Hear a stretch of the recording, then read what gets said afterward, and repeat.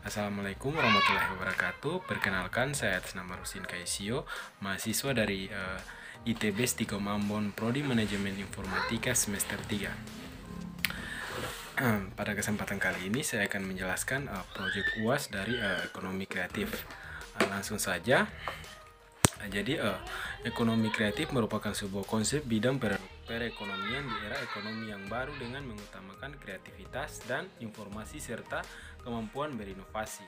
Konsep ini juga mengandalkan sumber daya manusia untuk mencapai kesejahteraan dan bahkan ekonomi kreatif sangat penting bagi bangsa Indonesia untuk meningkatkan jiwa yang kreatif dan inovatif eh, dalam diri pelaku ekonomi kreatif. Selain itu, ekonomi kreatif dapat membantu meningkatkan uh, perekonomian negara karena berdampak pada uh, peningkatan pendapatan negara.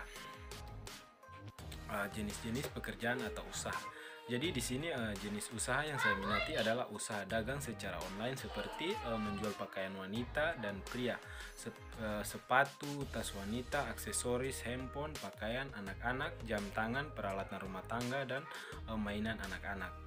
Uh, tak bisa dipungkiri saat ini gaya belanja masyarakat Indonesia mulai beralih dari uh, bertransaksi secara konvensional, kini masyarakat kita suka uh, belanja melalui online. Nah, jadi gambaran atau pekerjaan usaha dari uh, toko online. Uh, cara promosi uh, seperti yang saya jelaskan bahwa usaha saya minati adalah usaha dagang secara online. Berarti saya mempromosikan usaha yang usaha saya melalui online juga dengan cara mempromosikan uh, usaha saya melalui media sosial saya seperti marketplace Facebook. Contoh promosi di uh, marketplace Facebook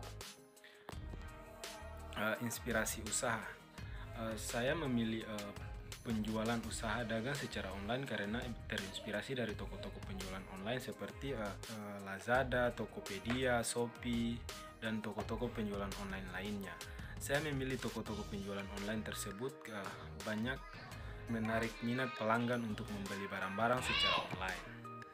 Jadi uh, alasan uh, pekerjaan atau usaha tersebut, saya memilih usaha tersebut karena saya melihat sekarang ini orang-orang sudah banyak uh, yang tidak berbelanja di pasar. Lalu lintas yang kian macet membuat semua orang harus uh, memulai perjuangan berat untuk berpindah tempat. Tak heran jika belanja online kini dijadikan oleh mereka yang tidak memiliki banyak waktu untuk belanja di pusat perbelanjaan tanpa perlu repot melewati kemacetan untuk untuk sampai di suatu pusat perbelanjaan mereka bisa memperoleh barang yang diinginkan hanya dengan mengakses internet melalui smartphone kesayangan.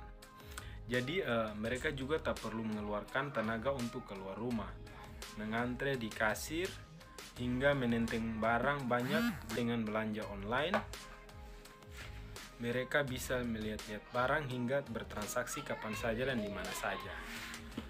Uh, baik di kantor, di rumah atau di dalam perjalanan sekalipun, setelah itu, yang dibeli diantar langsung ke alamat mereka sendiri, hemat waktu dan tenaga bukan? Nah dari itu, uh, dari situlah saya melihat usaha dagang secara online karena uh, melihat peluang usaha yang besar dan bisa menghasilkan dan menguntungkan.